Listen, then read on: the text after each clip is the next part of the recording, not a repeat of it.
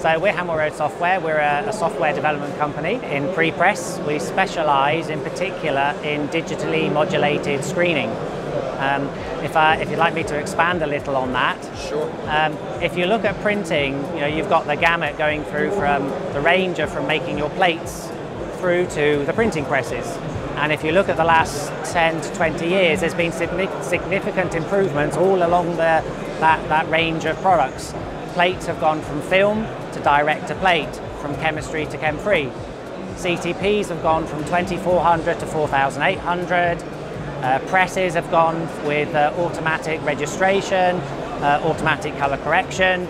But yeah, if you look at the actual technology that goes on the plate, it hardly has changed. And it's still the same technology almost from when Gutenberg invented printing. and it's really holding everything back. You don't get what you expect and what you want.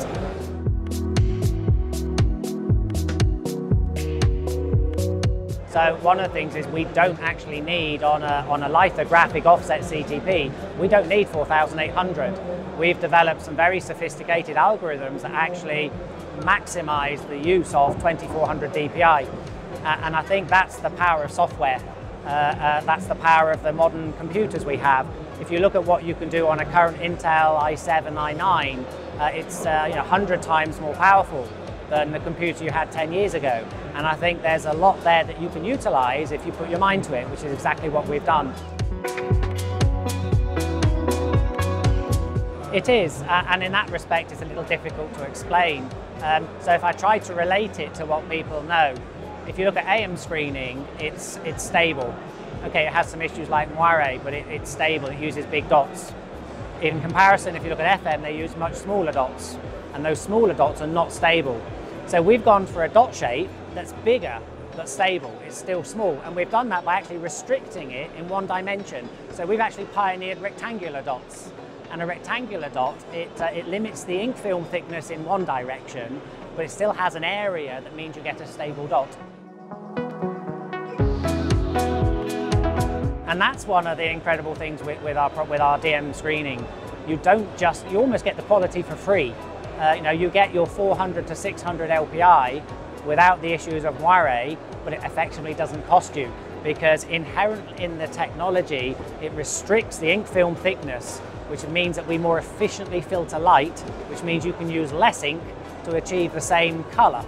Uh, and our customers are seeing in excess of 10% ink savings.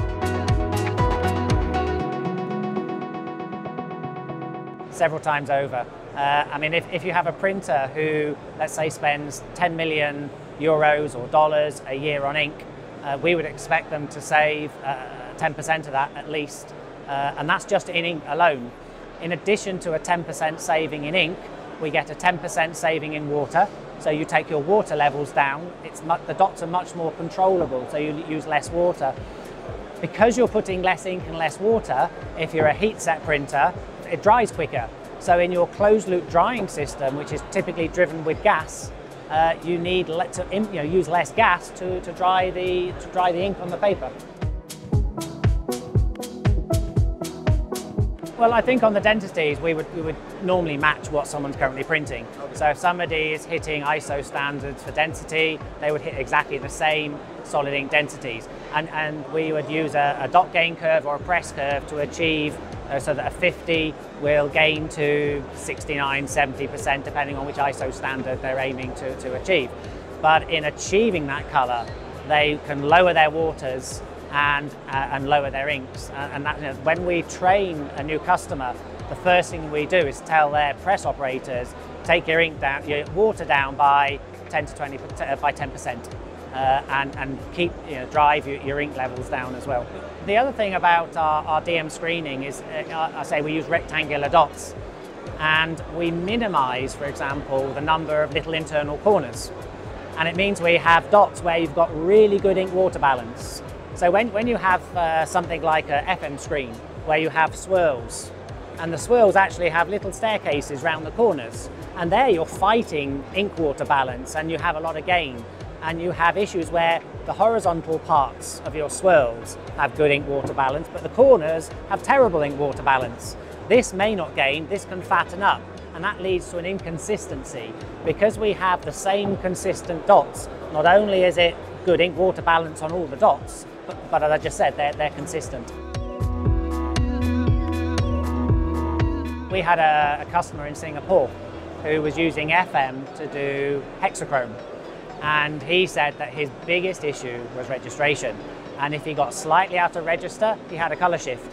And in fact, I can actually prove mathematically and physically that if you do a 5 micron misregister with FM of C, CMYK, you'll actually get a color shift. Um, so, and in fact, if you misregister with uh, FM screening, I don't want to name a brand, you actually get smoother results. So, you know, how do you tell your press guy, I want you to slightly misregister because it will improve the quality? Or you have a, a bad press operator who misregisters and prints you know, fairly well, then the next week your best press operator is on press, he gets perfect register, and you're now sending the customer something that looks noisy. That's just crazy, but I can prove it mathematically. With AM screening, it's well known that if you misregister, you go from a clear centered rosette to a dot centered rosette. A clear centered rosette is a soft, uh, gives a soft result. A dot centered rosette is a harder, bittier result. And if you do that, you get a color shift and you get what I call a noise shift from a soft to a hard centered rosette. With, with our DM technology, and it's the same whether it's litho or flexo or Auraia or bellissima, we actually interleave the dots. And that gives us two benefits. First of all, it reduces noise. So the reason we can make smooth browns is because the way we interleave the dots, and we call that a stochastic rosette. And we have two patents on that, two US patents. The second thing is this interleaving is what gives us no color shifts when we misregister. So our DM screening is much more forgiving on misregistration. So moire is, is uh, an interesting topic. it's, it's, plagued the industry on and off uh, for decades. Uh, a good printer who's got everything under control can pretend, you know, can minimize it, but you know, it can still rear its head. Uh, and you know, it's not difficult to have an unhappy customer if you don't pick it up. So one of the interesting things I think for me with, with uh, and I'll say this jokingly, with, with Auraia, is uh, we, we have heat set customers and they have young press operators who they em employ they train and will start using Auraia. These young press operators will grow up never knowing what a moire is. Now, isn't that sad? You know, we need to have a funeral for, for Mr. Moire because he no longer exists. We never get screen moire, we never get content moire. You can print chef's uniforms, uh, Scottish uh, tartan cloths, you know, the worst nightmare. Uh, and, and in fact, you know, clothing catalogues is a perfect application. Not only do we get the detail to show the cloths, the weaves, the stitching. Uh, we get the smooth colours on your browns, on your leathers, um, but there's no content moire. And you don't suddenly see a shirt that just looks, you know. We provide it on a, on a service model. At the end of the day, our customers, we know they save money. And if, you know, saying, I mentioned a printer, 10 million ink spend will save a million dollars. If we charge them less, you know, something less than that, then clearly they're making money. They're actually having less press issues. We also hear they run their presses faster, so they actually run more jobs, um, and they get the quality then almost for free. Um, so our, our sales model is on, a, on, a, on an annual pricing, or in some cases even a job-based pricing.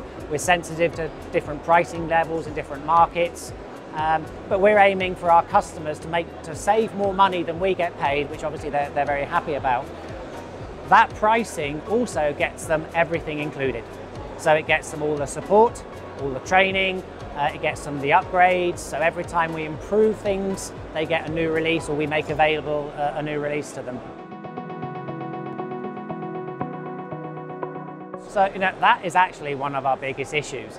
A lot of our customers will not allow us to tell people they're using it. In fact, some of our customers actually put in the contract, we're not allowed to mention their name and in fact, in some contracts, we actually have penalties if we mention their name. We're absolutely forbidden. We're under NDA. And the simple reason is they don't want their competitors to know how they're doing it. Uh, they don't want their customers to know um, how they're doing it. They, they, they, they, want to get a competitive edge. And, and we have customers winning very sizable uh, print contracts based on, on the quality of what we do. So it's really tough. You know, I mean, I, I have spoken to, for example, some major print uh, heat set print groups around the world. And when I phone them up and I say, well, we've got this fantastic product, it can actually improve your quality, it can actually improve your bottom line, great ROI, save you money, their first question is, who's using it? I then, for example, say, well, uh, there are millions of magazines a day in certain countries being printed with our software. So who's the printer that's printing the millions of magazines? I can't tell you. Okay. Um, and, you know, it, and, and it, it, it is so frustrating that you know, if, if we could announce who some of our big customers are, I think almost every single major print group around the world would be knocking on our door.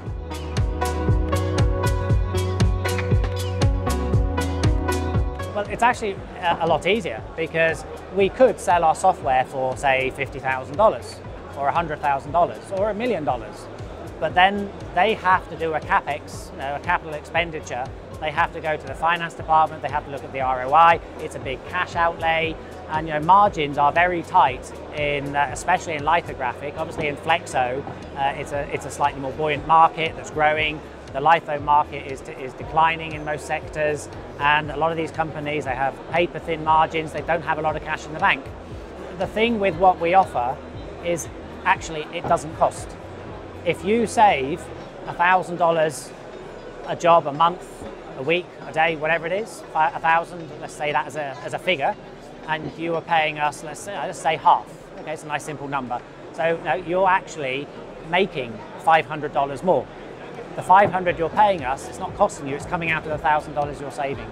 So uh, I think uh, it's, it's a model that when we say that to printers, they, they, they, there's a little reaction initially because it's different, it's new. You know, they, they, they're used to spending $5,000 for a piece of software or $80,000 for an upgrade to a big workflow, for example. So when you say to them that over a year you maybe pay more, a, it takes a while to get their head around. But when you say that actually whatever they're paying effectively comes out of the savings and doesn't cost them, then actually it, it, it becomes very acceptable.